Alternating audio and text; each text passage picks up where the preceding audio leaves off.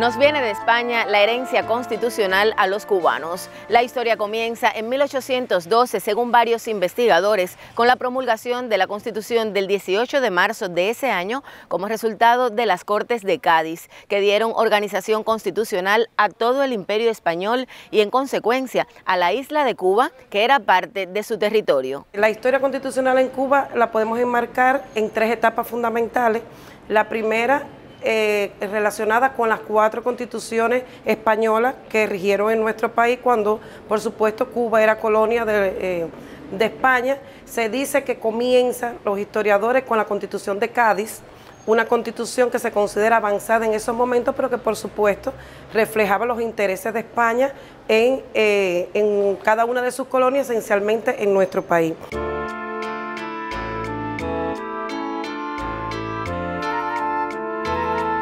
Dado que Cuba fue una de las últimas colonias de España en el continente americano, las diferentes constituciones están divididas en tres grupos. Las constituciones coloniales, las constituciones de la República en armas y las constituciones de la República. Estas últimas después de conseguida la independencia de Cuba.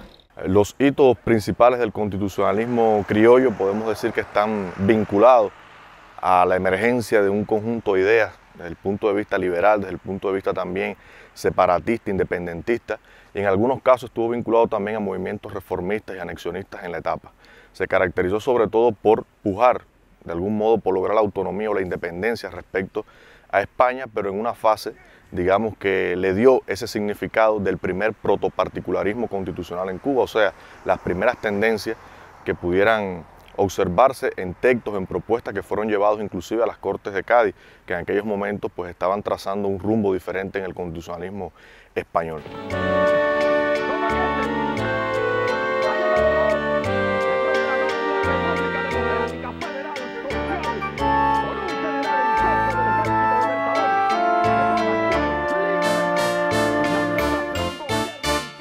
Después del 10 de octubre de 1868, resultaba necesario para lograr la fructificación del movimiento de liberación, la creación de un Estado nacional único que lograra la unidad de los cubanos. Sin embargo, en el seno de ella persistían importantes contradicciones que lastraban tal empeño, motivadas tal vez por la influencia de corrientes políticas anteriores y por intereses regionales. Para dar solución a estas diferencias, se convoca a la Asamblea de Guaymaro, donde donde surge una constitución auténticamente cubana.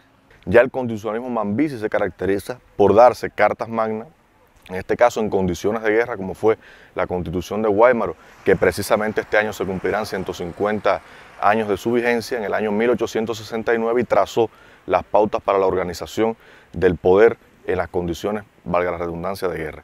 Y también la constitución de Baraguá, que a pesar de que tuvo una vigencia, digamos, en tiempo menor, pero significó un punto eh, para ratificar, digamos que las ideas independentistas, donde se utiliza un silogismo que nos ha acompañado durante mucho tiempo, que es precisamente el de la imbricación de los conceptos de independencia, de revolución y de pueblo. Después de los sucesos del Sanjón y la protesta de Baraguá, fruto del ideario del titán de bronce y las ansias de continuar la lucha hasta alcanzar la definitiva libertad de Cuba, fue aprobada la más pequeña de las constituciones mambisas, que consta solo de cinco artículos.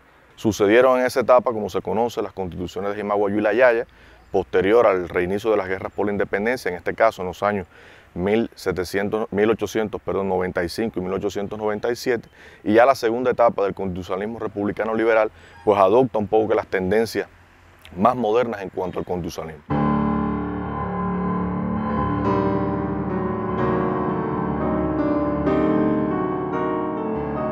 Simultáneamente a la vigencia de las constituciones españolas en Cuba, se fue gestando un derecho constitucional propio que tuvo su génesis en las ideas autonomistas. Tenemos a José Joaquín Infante, que ya fue un constitucionalista y hizo un proyecto de constitución, pero tuvimos a Céspedes, abogado, Perucho Figueredo, abogado, tuvimos a Francisco Vicente Aguilera, abogado.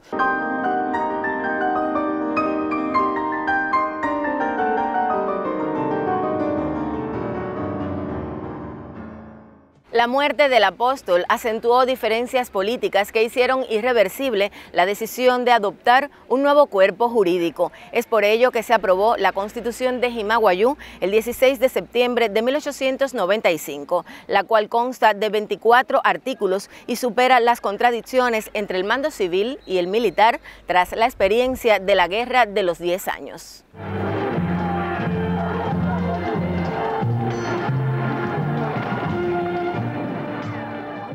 Frustrada la victoria de los mambises sobre el colonialismo español con la invasión militar de Estados Unidos en la Guerra de Independencia, tuvieron lugar en 1901 los debates de los delegados a la Asamblea Constituyente, quienes debían redactar y adoptar una constitución para el país en el nuevo contexto. Años más tarde, Gerardo Machado promovió una reforma de la Constitución de 1901 con el objetivo de extender su mandato.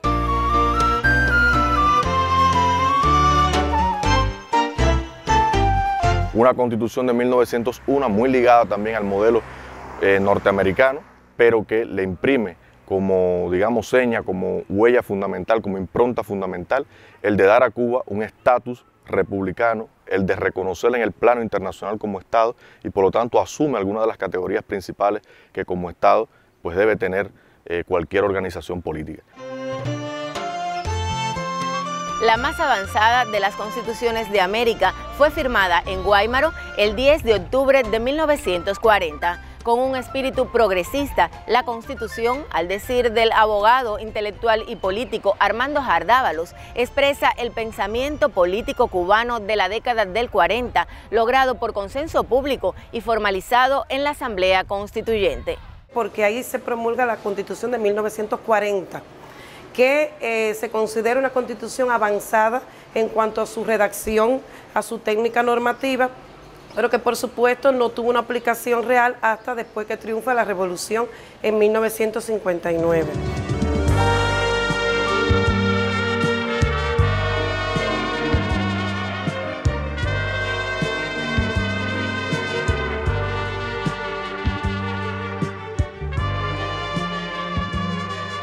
Con el triunfo de la Revolución cubana se hizo necesaria una nueva ley de leyes. Un grupo de juristas designado por las organizaciones políticas y de masas redactó un nuevo proyecto de Carta Magna que fue sometido a discusión en la que participaron más de 6 millones de personas.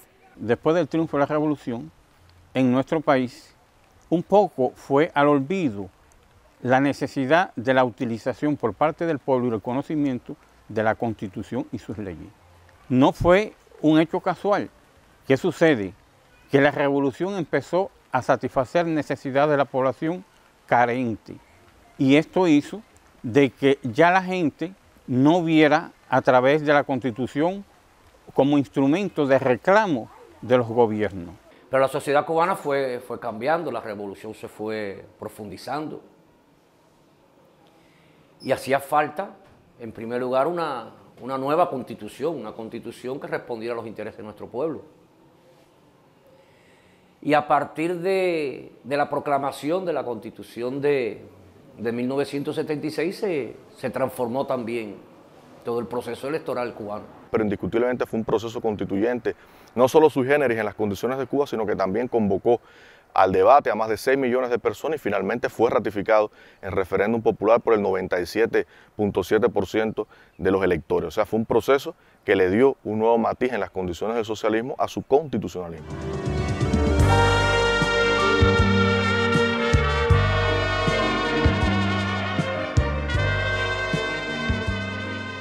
Más adelante, en 1978, 1992 y 2002, otros cambios marcarían el futuro de la ley de leyes en Cuba.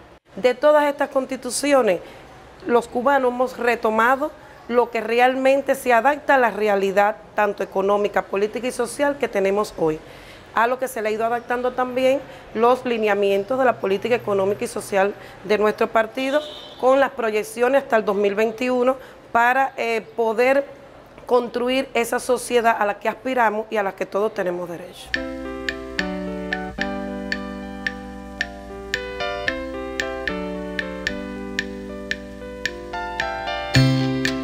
En la clausura de la sesión extraordinaria de la Asamblea Nacional del Poder Popular del pasado 2 de junio fue anunciada la creación de una comisión de diputados que se encargaría de la redacción y presentación al Parlamento del proyecto de una nueva Constitución de la República.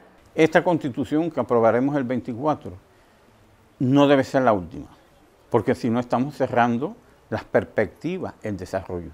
Lo que sí va a tener una expansión de décadas, de mucho tiempo, por una razón muy clara. Las constituciones tienen una característica que no pueden ser movidas con tanta frecuencia y tiene que aparecerse a un tiempo prudencial largo. Pero si las condiciones están en acción y todo está en desarrollo, pues también el pensamiento jurídico tiene que estar en desarrollo. Pero yo creo que nuestra constitución tiene muy bien una extensión de décadas de años de vida. Ahora, lo que sí no podemos negar de que en un futuro tendrá que venir otra constitución que represente las múltiples dimensiones de nuestra sociedad de ese momento en que se desarrollará nuestro futuro. Y con la atractiva propuesta de la herencia constitucional en Cuba, nos despedimos hoy. Recuerde que nos volveremos a encontrar para intercambiar sobre otra de nuestras tradiciones aquí en Herencia.